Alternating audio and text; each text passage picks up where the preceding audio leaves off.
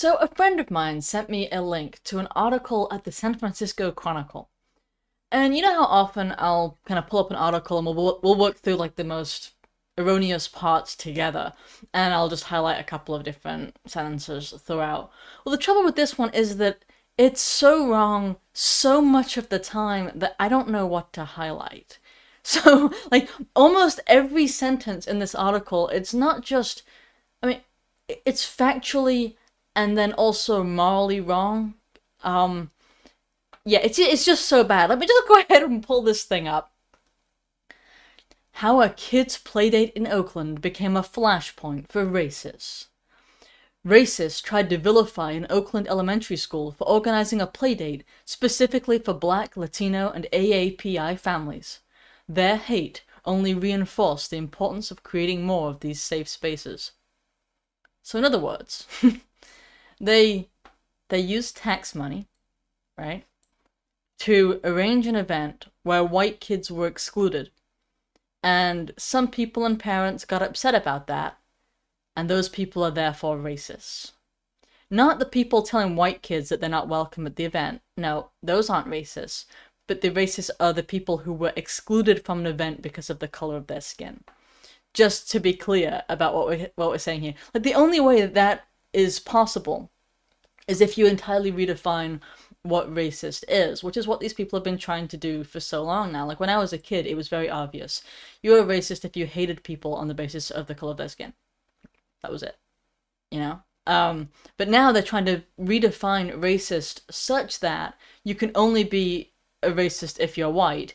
And in fact, if you are white, then you pretty much always are a racist. Because even if you don't think you are, well, you have some some notions deep within you, or you have some ancestry that proves it, or so on. Or because because white people have the power in the country, whether they do or not, whether it's imagined or real, you therefore are always a racist. So by redefining these words, they come up with rationalizations for their own acts of immorality. Now, to be clear, if you know, like a black a black owned business, let's just say, wanted to only serve black people, I actually don't care about that. It's not legal in this country at the moment due to the Civil Rights Act that doesn't allow it. But personally, I would actually get rid of the Civil Rights Act, allow business owners to associate freely with whoever they wish and not associate with whoever they wish. But in this case, this is also involving children, but more importantly, and this is a tax funded, thus public event. And so, no, you can't use that tax money to exclude white kids. And now, I mean, it's also just grossly immoral to do so. But anyway.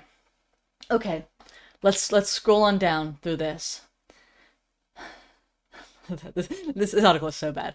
The Equity and Inclusion Committee at Oakland's Chabot Elementary School didn't publish the emails and phone numbers of organizers when advertising its playdate for students of color on August 26th.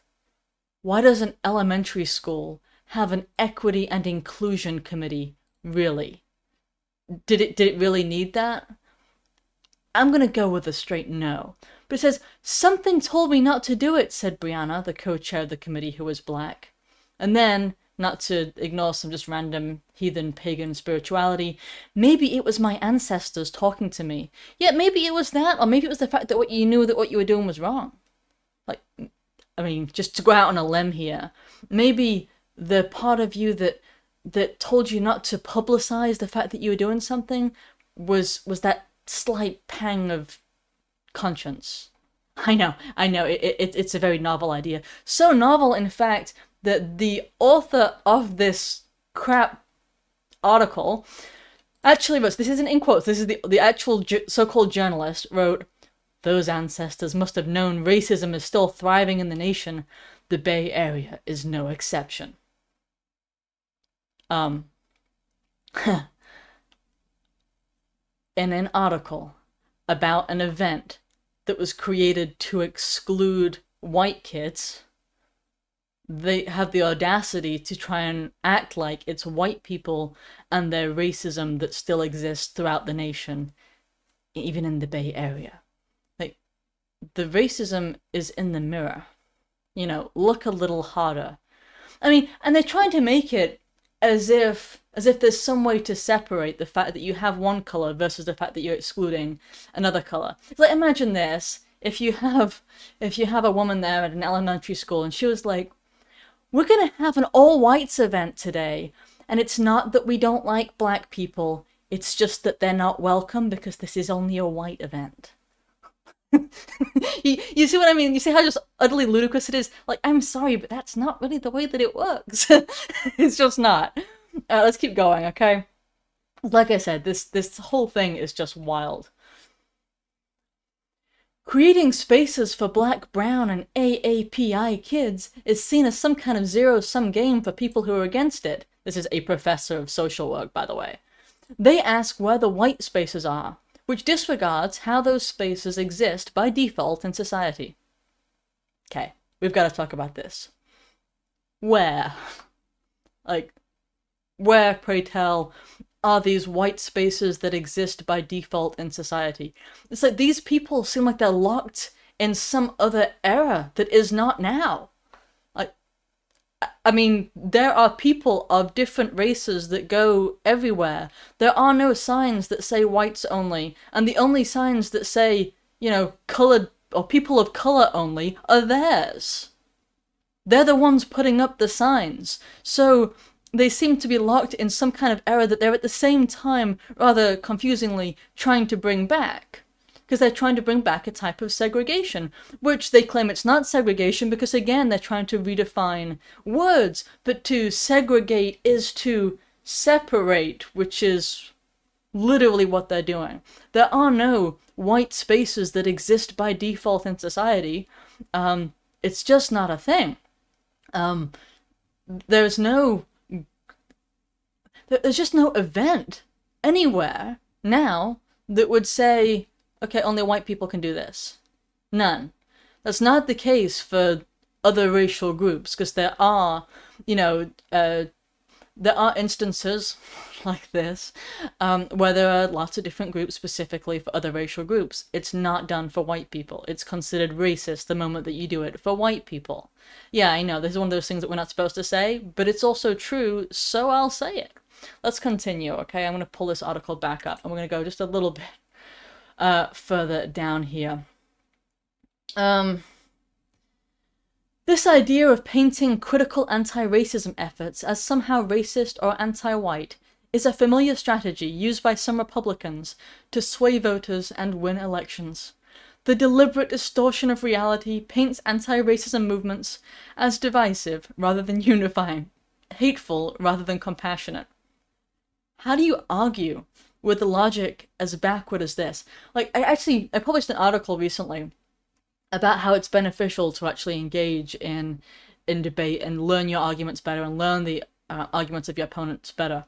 But when it's this bad, when the arguments are so out of touch with reality, to, to use one of uh, their expressions, um, it's very difficult to argue. I mean, how can you argue, for example, that having your all non-white space is unifying. Because that's what they're doing. They're literally arguing with a, with a straight face that saying that we're having only people of color, to use the modern expression, um, is is unifying. Hey, get out! We're unified. it just doesn't work. I'm I'm sorry, but there's there's something about the, the the use of language here where they seem to be speaking an entirely different language because they redefined so many of their words. Um, you can't kick out white kids and say that you're doing so to be compassionate. That's that's just not the case. It's just an error, and so it's difficult to even come up with. Uh, how do you argue when they're just not speaking sense? Where it just is the opposite of the truth, and that's where they are. And yeah, they're upset they got some hateful messages. Well, yeah, that's kind of what's going to happen when you have uh, that kind of a situation. And then we're going down here, it says, um, within the last two years, we've seen incidents like the one at Alameda High School where the words whites only and blacks only were scrolled across walls and in a bathroom. I mean, the majority of the events where you see stuff like that are actually fake hate crimes, and it gets found out later that it was, you know, uh, some black kid who wanted attention or whatever. They're, they're recorded. There's a site that actually records them. I'll put it up on screen because I can't remember off the top of my head, and I don't want to say that it's wrong. Um, but okay, so we've got these. We're talking about these signs. Well, Mm, couldn't you just as easily put that up at their their event? I mean, their event, which was, you know, it wasn't only blacks; it was every other group except for whites. But you could certainly, you know, put up a people of color only, since that's the modern inclusive, inclusive except for whites um, e- expression. Right? I mean, it would absolutely fit. Or just no whites. That would also work. No whites allowed. That would work. It would cover what the event actually uh, included. Again, using taxpayer money to kick out white kids. I mean, that's that's what they're doing.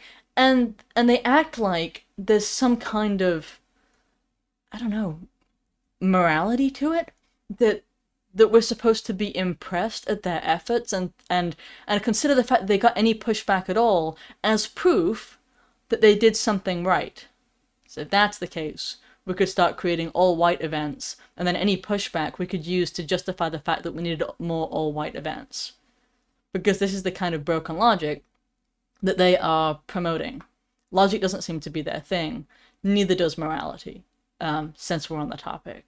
But this is what's been traveling, uh, especially around the, around the country, really, and it's like we're in a position where so many don't seem to be able to articulate a position, and I think it's just because their position is immoral that you can't come up with a rationale uh, to state otherwise, or to get this to fit within the bounds of, of what the current law is with things like the Civil Rights Act. But even more than that, since this is on public uh, public property, it will always be illegal. I certainly hope so to, to just kick out the white kids um, from your event. But that's what we're seeing spread. So to the contrary of the assertion that all white spaces are the default, I think that what you're actually finding, what's a more honest take, is that the default would be multiracial, but the only other option is specifically no white spaces.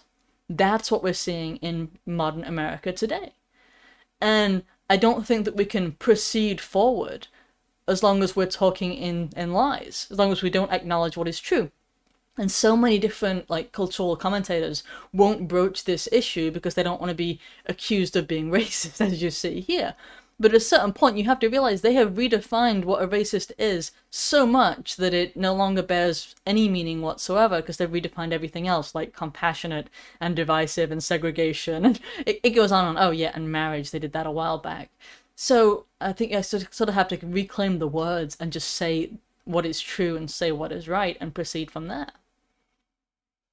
Hey, you're still here! Don't forget to give the video a like, subscribe if you haven't already, and share it with your friends. I've also got links in the description as to how you can help support my work. Thank you so much.